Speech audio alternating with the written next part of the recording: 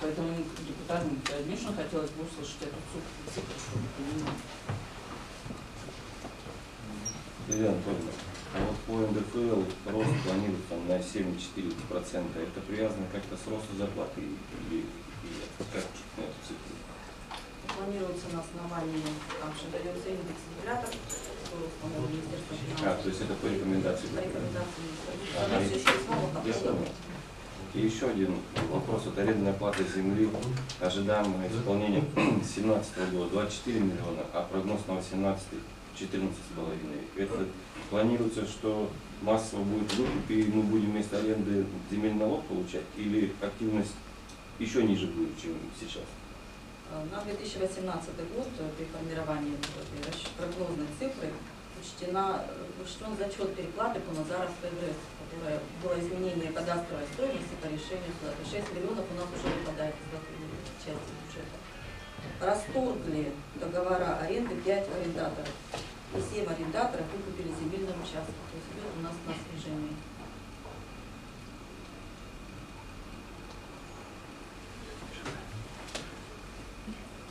Лилия Анатольевна, а параметры бюджета у нас предварительно согласованы с Министерством финансов края? То есть мы параметры берем из закона Красноярского края, краевом бюджете, да? Согласованы. Конечно. Юрий Анатольевич, это на плановый период 19-20 год, ну, наверное, на 18 все-таки будет дефицит бюджета. Чем закрывать будет дефицит? Нас следующий плановый период. Ну, вот 19 год вы планируете без малого 32 миллиона Ну. Это плановый период, мы, мы планируем в соответствии с бюджетным законодательством 10%. Когда у нас подойдет 19 год, мы формировать бюджет, конечно, такого дефицита уже не будет. Ну, Я смотрю, что на 20 год он еще больше. Да. Вот, Ну, это мы будет э, плановый период. Это прогноз. Это прогноз. Мгм. Ну, такого, конечно, не будет при формировании. Хорошо, Юрий Анатольевич, второй вопрос. А, недоимка, ну, по крайней мере, по ЕНВД на сегодняшний день сколько составляет? Вот а, здесь у- у- у- да, указывается, что запланировано а, поступление недоимки в 2017 году в размере 10% от величины на 1 июля 2017 года. Ну и, и вообще, может быть, по ЕНВД в частности, и общая недоимка по налогам.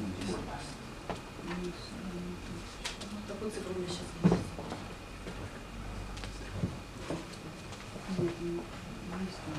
Давайте, может быть, сессии, вы озвучите.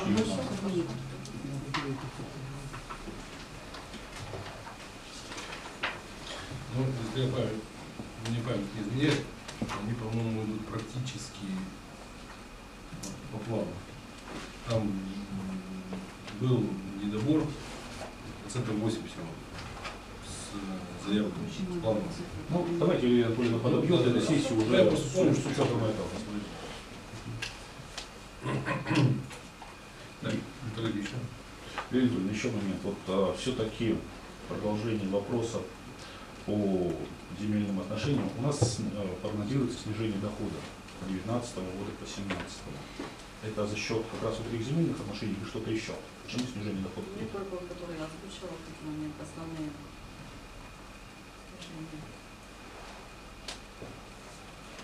Потому что мы планируем, что по НДФЛ у нас рост, по другим налогам у нас рост, в общем, по снижение. этому доходу источнику у нас идет снижение. Несмотря на там, где-то 15% рост, у нас вот это так сильно нас вытягивает вниз. Ну, Если мы в этом году планируем 24 миллиона, а на 18 14 миллионов, конечно, 10 миллионов разрыв, конечно, будет большое снижение. Ну, даже не небольшое, а приличное снижение. Ну, в силу объективных причин. Юрий Анатольевич, еще вопрос. На прошлой комиссии вы докладывали, что у нас порядка 35 миллионов дебиторская задолженность. Она в бюджете на 17 год здесь заложена в доходную часть.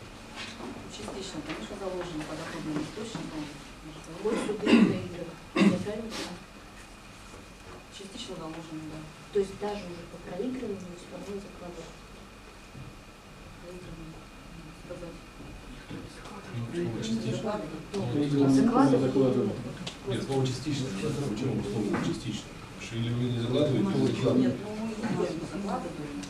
Главный администратор дохода закладывает. Там уже как конкретно, я не могу. Можно еще один Юрий а ты вы по этому поводу что-то можете ответить? По поводу дебиторки.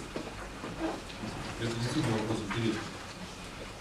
Ну, по, значит, кредиторске, по кредиторке, по опыту прошлых лет, значит, по, считаю, по по- да, по кредиторской нашей задолженности, значит, э, естественно, кредиторская задолженность, это самое, которую мы собираем. По опыту прошлых лет мы пытались закладывать суммы ожидаемые даже по, вы, по выигранным нами делам, но, к сожалению, значит, исполнительное производство за этим делом запаздывало. И поэтому, когда мы надували бюджет этими цифрами, а по итогу мы их не выполняли, ну, у нас возникали определенные напряжения, в том числе, которые сказывались затем на наличии у нас кредиторской задолженности по концу года что мы не смогли это самое. Поэтому здесь с этим э, вопросом мы очень аккуратно подходим. Ну, для этого мы говорим. Значит, у нас есть еще Ирина Анатольевна, Вопрос еще можно, вот так вот мы э, плановой бюджет на 18 прогноз на 19 В доходной части мы э, уже видим, что предполагается снижение доходов еще на 20 миллионов. Просто